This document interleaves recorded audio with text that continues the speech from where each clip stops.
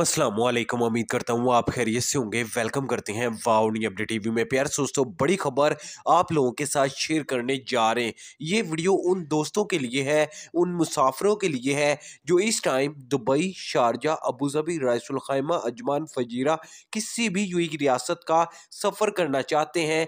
चाहे आप छुट्टी आए हुए हैं, चाहे आपके पास विज़िट वीज़ा मौजूद है, चाहे आपके पास फैमिली विज़िट वीज़ा मौजूद है तो ये वीडियो आपके लिए है।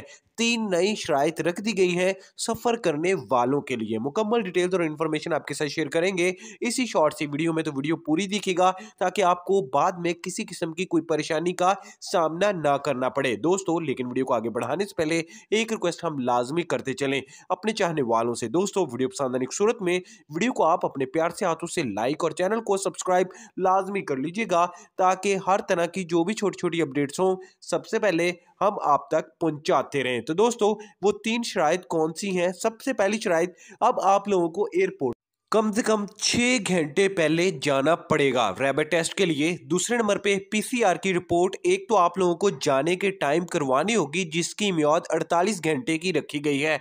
तीसरे नंबर पे, जब आप एरोप्लेन में बैठोगे, जहाज़ में बैठोगे, उस टाइम आपकी पीसीआर रिपोर्ट होगी और उसके बाद जब आप दुबई, शारजा या अबूजबी एयरपोर्ट पर उतरोगे, उस टाइम एक बार फिर आप लोगों की पीसीआर रिपोर्ट की जाएगी।